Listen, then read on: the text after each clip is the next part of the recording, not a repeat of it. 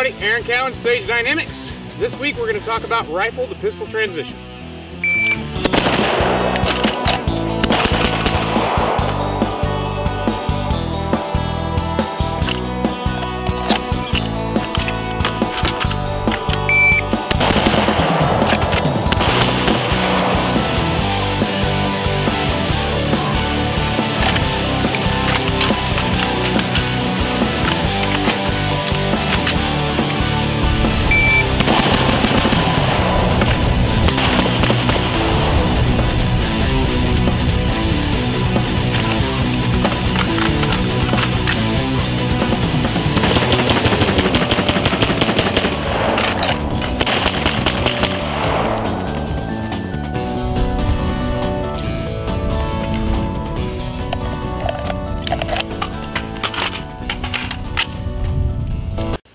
Transitions is something I teach in my rifle classes. Uh, defensive rifle one or patrol rifle run is when we first really start getting into transition.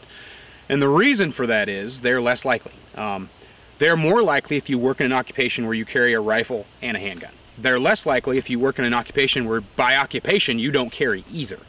Um, our everyday citizens, our armed guys, you're probably, your default protection is probably the handgun. So it's probably more likely for you to just have a handgun than it is for you to have a rifle and handgun. But because it can happen, it's something we definitely need to address. But hopefully you've taken the time to build the skill sets independently before you combine them. So, working under the assumption that you've done that, and we're at that point, what is the impetus for a transition? Why would I transition from a rifle to a handgun? Well, it's pretty simple. Either the rifle runs out of ammunition or the rifle experiences a malfunction.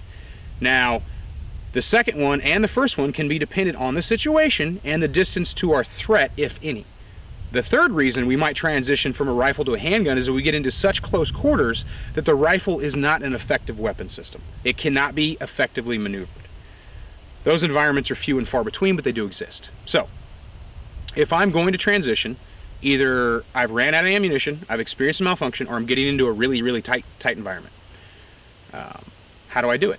Well, we'll get into that, but first I want to talk about bright line distances. Uh, when I first went through uh, my first patrol rifle instructor course, I learned that 15 meters in, in in is when we transition to the handgun. It was given as a default. This is this is the only time you do it. Any further back than that, don't even bother, because you'll have cover available to you, or you'll be far enough away that you have time to fix your malfunction, or blah blah blah blah blah blah blah. Um, now, I'm, I like to think pretty realistically, pretty common sense. I realize that threats are more likely to be closer than they are further away. However, the fact further away threats do exist, so it's something we need to be prepared for, which is why when I focus just on handgun skills, I don't only shoot at 3, 5, 7, 10, 15 meters, I work it all the way back. The transition is entire transition distance is entirely dependent on your skill set or the condition of the rifle. So, if I have a threat who's 15.5 meters away, and I have no way how I would accurately judge that without a rangefinder, uh, but let's say he looks like he's 20 meters away. Bang, bang, bang, rifle goes dead. I'm like, oh, I can't transition, so let me fix it. Knowing full well that I have a skill set to get really good hits with my handgun. So I'm out of the fight until I perform my reload, or worse, out of the fight until I fix my malfunction. Now, some malfunctions can be cleared just as fast as you can reload the rifle, but the point is, is I have a perfectly good weapon system right here, or usually, for me, right here.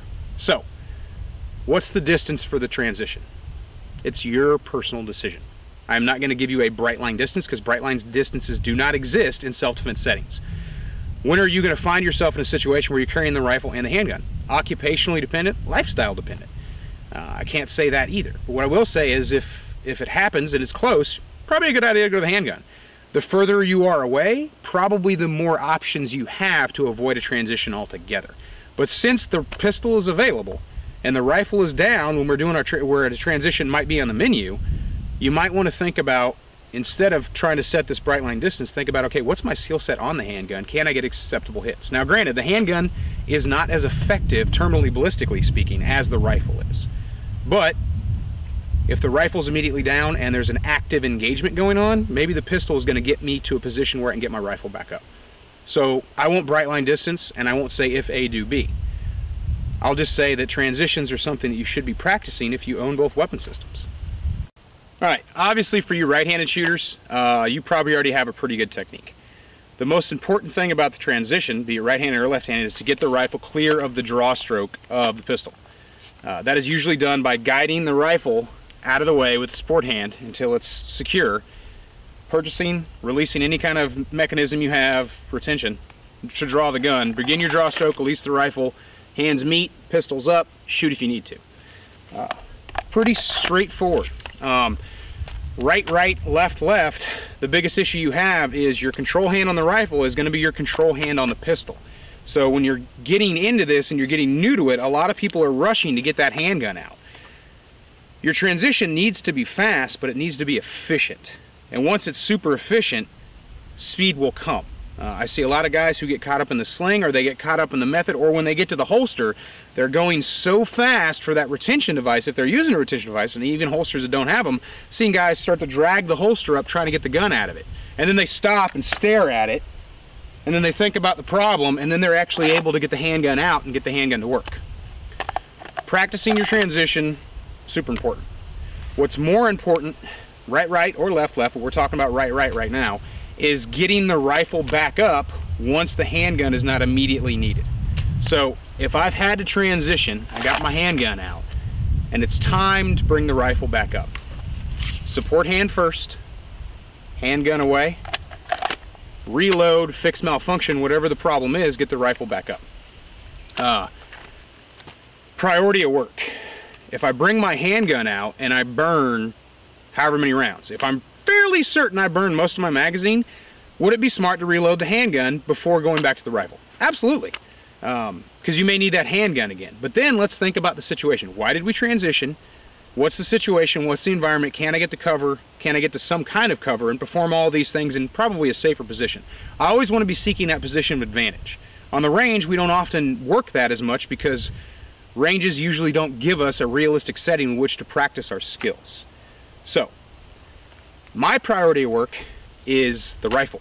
Unless I'm absolutely certain that I burned the majority of that handgun magazine, I'm not going to default reload the handgun. I'm going to default holster the handgun reload the rifle. At that point, once I'm secure and I don't need the rifle in immediate need, then I can bring out, perform a reload, or pop in the holster, however I want to do it.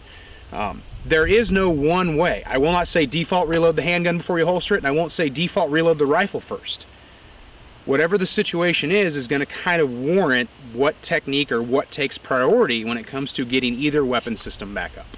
Now, as a left-handed shooter, life can be a little bit more difficult when it comes to the transition insofar as the rifle is concerned. Everything else is going to remain the same, and if you're left-handed, you've already been dealing with this. So if you already have a method, if your method is already smooth and precise and you've rounded the edges and you've worked out all the inefficiencies, then by all means, keep doing what you're doing. But if you're new to it, or if you're looking for maybe a different technique to try to see if it's going to improve your efficiency and your speed, this is the way I generally handle left-handed transitions. Now, the rifle is set up for right-handed shooters for the most part. So our safety selector is on the outside. Now me, when the safety's on, I ride my thumb over here. Not necessarily on the safety unless I'm ready to go, but it's in that general area just like my trigger is off the trigger, or my finger's off the trigger. It's ready to go in there and, and get on the trigger and do work if I need to, but the thumb basically occupies the same kind of space. If the safety needs to come off and I come up on the gun, I sweep the safety as I'm coming up and put the thumb right back on the other side of the gun with the traditional grip. Finger goes to the uh, trigger when it needs to go to the trigger, and I shoot if I need to shoot. Uh, not really any loss of speed or motion from a right-handed shooter sweeping with their thumb when it's on the, the correct side or the left side of the gun. Uh, a lot of left shooters have a tendency to think they need ambidextrous controls. Ambidextrous controls are great, but they do have some significant drawbacks, which I'm going to address later in the video. So for me, I tend to keep my rifles set up, even my guns that I shoot left-handed a lot, as the traditional right-handed model. Uh, as far as the other controls go, you guys have probably already experienced, you know, how to strip a mag, how to use your thumb, and then when it comes to hitting the release, nothing different. You can either come, come in, in here, or if you've got an ambi release or whatever, uh, I have seen some shooters, especially under stress, they'll default to a primary hand slap and then come back. I don't like that. However, if it's fast and efficient for you, keep doing it until you find a way to do it more efficiently. That's not something I would stick with just because you're releasing this control for really not much gain, uh, if any gain at all. Now, as far as the transition goes, it's the same as for right-handed shooters. I'm going to be up, I'm going to be on the gun, bang, bang, bang, however many rounds go. Whatever happens to the gun that forces me to transition, if I make the decision to transition, I just guide the gun out of the way, purchase the pistol, release the rifle, get the pistol in the fight. Now, when it comes time to bring the rifle back into the fight or index or whatever you're doing. Try not to treat it as an administrative thing, even if it is an administrative thing. Get used to the idea that you might need to get that rifle up quickly. I'm going to repurchase my support hand grip while I'm still on the pistol. Now obviously, if there's still shooting to be done, I'm probably not going to do this. If I found cover or maybe my threat's down or maybe my threat went to cover, that may be something different. But if it's time to get the rifle back up, I'm going to get that support hand grip and I'm going to bring the rifle up. And at that point, I will holster the gun, release the magazine, perform my reload or fix my malfunction, get the rifle back up. Now, if you're lucky enough to be cross dominant, the world is pretty much your oyster when it comes to transitions. Your transitions are going to be marginally faster than your left left or your right right handed friends. Uh, there are some distinct advantages to training yourself to be cross dominant, but it requires such a probably immense investment depending on how naturally ambidextrous you are that it might not be worth it for every single person. It all depends on what your occupation is and what you expect to get out of your training, and you may perish some skills while trying to improve others. As far as cross dominant goes, it's either going to be right left or left right. Either way is going to be an advantage. With the rifle up, if I run out of ammunition and I'm close enough that I feel like I need to transition or I experience a malfunction or whatever reason's causing me a malfunction, I still have control of the rifle as I come down, bring the pistol out, use the pistol if the pistol needs to be needed, used, and then when it's time to get my rifle back up, I can still maintain muzzle, and this is the advantage. I can still maintain muzzle control of my threat until my rifle is back up and ready to be reloaded or repaired. Now, and I'd mentioned that I don't like ambidextrous controls, and here's why. Um, my safety is on the inside of my rifle uh, as a right-handed rifle shooter. So when my rifle hangs, the safety is against my body. Now, not a huge deal um, for most people. That's where their safety is going to be. But I don't want my safety against my body. Why? Well, if I have to go hands-on for any reason, or if my hands are just off my rifle, I'm not even talking about transition necessarily, it's just I'm doing something. Or maybe I'm slinging my rifle to the back or whatever. If I'm doing something with my hands, I'm not maintaining proper control of my rifle, it's unsafe. But it can brush against gear and the safety can come off. And then, you know, if the stars align perfectly, I could have a negligent discharge. So me personally, if I'm gonna go hands off in any non-emergency situation, I roll my rifle outboard. The reason I do that is it puts the safety on the outside and there's nothing on the inside that can brush against my body to cause the safety to come off. If I had an ambidextrous safety, I would not have this option. So left, left, right, right, if you're running the safety on one side or the other, if you're left-handed, I suggest you run the safety on you know the right side of the rifle. If you're right-handed, run it on the left side of the rifle just leave it alone. And this will prevent any kind of issue like this. Now, ambidextrous safeties are great because they exist. But I gotta be honest, I don't use them a whole lot. And when I say a whole lot, I mean pretty much not at all unless it's in a precision rifle type setting on this platform. And even then, I can get away with not using them at all. So, the ambidextrous safety is cool, but you have to ask yourself and be honest, is it really necessary? Now, I'm not saying go take it off your gun, but really vet the gear before you trust your life and trust the, you know, trust your chances to having an ND or not uh, when it comes to your equipment. It's much safer when you're hands off to be able to take the safety off of any potential surface where it can come off safe when you don't want it to. Now, this video is not about malfunctions, either on the rifle or the handgun. But let's say the reason for my transition was my rifle went down. So rifle goes out of the way, handgun comes out, handgun does work or not, whatever. Time to put the handgun away, get the rifle back up. So I go for my sport hand purchase, but I know that was a malfunction. So as I bring the rifle up, I might glance, and this is just, you know, something you might want to check out and see if you like it, to see the condition of the rifle. And then I can decide what I'm gonna do. I may be like, all right, that's a double feed, or that looks like a bolt over. I'm gonna go ahead and leave the rifle, stay with the handgun until I can find cover, and then I'm gonna get the rifle back up. That is just an option. Um, I'm sure that might be something weird to you. Maybe you've never heard of it before, but you know what? I have eyes, and I can bring the rifle into my peripheral vision and be like, you know what? I can't fix that right now because I'm still dealing with this threat. So I'm going to go ahead and leave that, stay with my handgun. Um, all depending on the type of function. I'm not saying do that as a default. If it was a failure to fire, if you just had a dead trigger, you look at the rifle, the bolt's closed, holster up, tap, rack, reassess. If you look and there's like, like a bouquet of brass sticking out of the ejection port, that might take a little bit more time to fix. So maybe stay with the gun you know is working and you know will continue to work because you don't know how long that's going to take to fix, especially if it's an atypical malfunction that you've never seen before. Like, what is this? I have no idea how that did that. Everyone at some point will experience a malfunction like that. Uh, I've been doing this for a long time, and every now and then I look at I look at a gun and I'm like, how in the fuck did that happen? So, I prefer the option of this because it's like, hey, let me look. Okay, yeah, I can't fix that right now. Or it's like, well, I knew it was a dead trigger, and upon looking at this, okay, it's probably just, you know, failure to fire. I'm going to rack that brass clean, get my rifle back in the fight. Um, again, not saying this is a default methodology that you should take up, but it's just some advice, just something that I like to do uh, because it does make my life a little easier when it comes to maintaining, I guess, efficiency of my weapon systems. And I know I've talked about it in videos before, but I'm to address it again. I use two-point slings. Uh, the reason for that is when I, you know, when it's time to transition, I don't have to worry about the rifle hitting me in the dick, or I don't have to worry about a hot barrel or a hot suppressor on a single point sling burning me.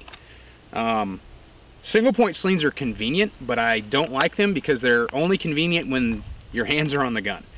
Once it's time to let go of a rifle, either you've got to duck walk or you've got to take it like a man, as I've been told, and let the rifle smash you in the knees and shins or let hot suppressors burn your legs, things like that. So, and I've used single point slings it's not like I haven't used them. Um, I did use them for a couple years when I was a contractor. They were great because they were really fast in and out of vehicles. Um, but that really, to me, was their only real advantage. Um, two points are awesome. And I've talked about this. In fact, I did a video specifically on sling management. I run my sling all the way out, so even if I do transition and I drop my rifle, it's in a position where I'm not really going to have to worry about it moving about because I've got two points of control on the rifle versus one point of control on the rifle creating a pendulum. Uh, I don't want my rifle to become a very heavy, very potentially hot pendulum smacking me about my body. So two-point slings, even when you run them all the way out, are, to me, much more effective, especially speaking about transitions, uh, than a one-point sling. And as a final word, if you own a rifle and you own a pistol, uh, be realistic about it. Um, what I mean by that is, is, is be honest with yourself when you practice the skill. Uh, I see people's accuracy suffer when they're working transition drills because they're more worried about the smoothness of the technique than they are about the accuracy on target or on threat.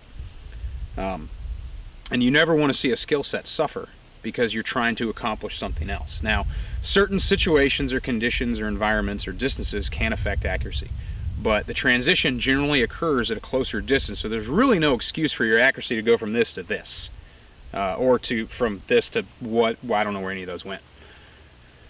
Slow it down, build up that efficiency, and then work your way towards speed. If you're already fast on the rifle and you're already fast on the handgun, don't assume, just getting into transition techniques, that you're still going to maintain that speed and accuracy when you start working the two weapon systems together. I like striker fired handguns there's really not a striker fired rifle, so to speak. What I mean by that is the Glock has, you know, an active trigger safety, but it doesn't have a manual safety that I have to disengage. The rifle does. Not a huge deal, right? Well, you get your heart rate up a little bit as a symptom of stress, not a cause. Uh, and you, you started mixing things up and you might forget which weapon system has what kind of control. And you may laugh, but it does happen. I see it happen to students, and I experienced it myself many, many years ago repeatedly when I got into situations like during like force on force exchanges or just having an instructor right in my ear. Um, my skill set was still building, so I was at that point where I was very susceptible to range failures. Uh, and I worked through it, and now I got to the point where I don't make that mistake anymore. But just getting into it is definitely something that can happen. Um, you don't have to spend a lot of ammo, obviously. Um, I generally, you know, I'll take a 20 round box and I'll grab a couple magazines and I'll put three in one, four in another, five in another, six in another, and I'll mix them all up. So I don't know exactly when that transition is going to happen. The handgun, you know, I'll fill the magazines all the way up just so I get a lot of good handgun time in, and handgun ammunition is usually cheaper than rifle ammunition, depending on what you shoot. Uh, so that's good. Um, but I had repeated requests for this video, and it's something even students have asked me to put out. Uh, so I decided to, you know, go ahead and dress it the way I dress it because I've had people tell me I teach transitions a little bit differently. So I you know, kind of wanted to give you guys a look at it. Um, if you have any comments, complaints, concerns, questions, just go ahead and drop them uh, in the comment box below. I'm Aaron Cowan with Sage Dynamics transition accordingly.